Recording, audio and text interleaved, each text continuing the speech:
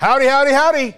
It's Paul Catalina's Top 5 brought to you by Texas Beef House. Don't forget when you go to TexasBeefHouse.com, use our promo code SICK'EM10 for 10% off your first order. Uh, and believe me, I believe that order is probably going to be pretty big. They have great stuff uh, there at TexasBeefHouse.com. Top five players on the College Football Hall of Fame ballot who should go in now. Look, there's some obvious choices. Out of the 77 uh, that are on the ballot, there's only going to be 12 people selected. So guys like Sean Taylor and Aaron Donald, they're probably going in. But these are some people who've kind of languished on the ballot for a couple years, and it's time to put them in. So they should be part of the 12 this year. Number five, and I realize this is a lot of bias, but he's been on for way too long. Maybe one of the best college football players of his entire generation, Peter Warrick, dominant at FSU absolutely dominant, helped lead them to the 1999 championship game, had that fantastic catch that sealed the win for them uh, in New Orleans at the Sugar Bowl. Would have probably won the Heisman Trophy if not for a two game suspension for the Dillard's incident in 1999. Instead, that went to Ron Dayne. But Peter Warrick certainly deserves to be on this list. And before you call me a homer, I did not include Sebastian Janikowski, although that's coming. Number four, DJ Dozier from Penn State, a two sport star in Major League Baseball and the NFL. As you may remember, uh, played baseball a little bit longer, but really, really good athlete and helped Penn State win a national championship. And it's been a long time since that happened in that 12 and 0 season that Penn State had. He was the driving force behind it, just knocked through people. And look at that old school face mask, the bar right here. My God, I love it. Put this dude in.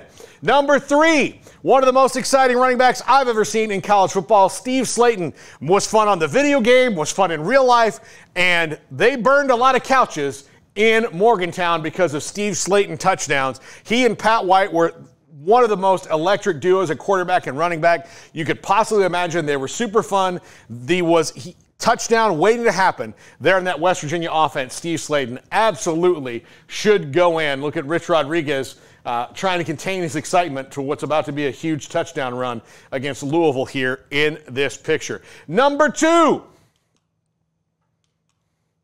Antwaan Randle El. at Indiana.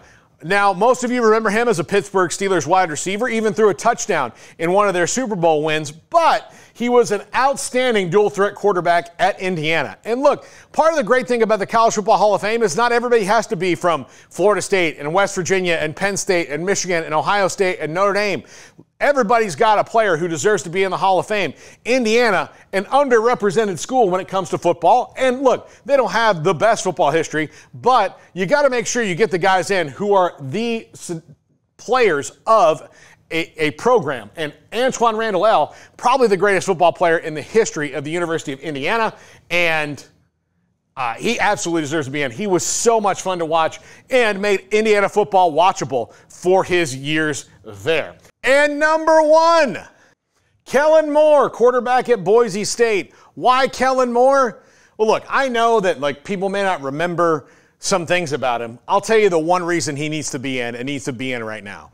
He's the all-time winningest quarterback in the history of FBS college football. All Kellen Moore did at Boise State was win. Highest winning percentage, most total wins, all of that belonged at least now or at some point, to Kellen Moore. He is the all time winningest quarterback. Boise State did nothing but win. He and Jared Zabransky, back to back, helped put Boise State on the map as a team that you do not want to play. And the peak of Chris Petersen's time at Boise State came on the back of Kellen Moore and a lot of those other players. But Kellen Moore, now an NFL coach, as many of you know, uh, and, one, and a good one at that, uh, was the reason that Boise State exploded because he was such a damn good college quarterback and just won and won and won and won.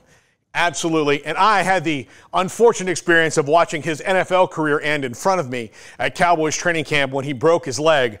But he turned out to be a pretty damn good coach, uh, and he's going to continue to do that throughout his career. Kellen Moore at Boise State absolutely deserves to be in the College Football Hall of Fame, and right now.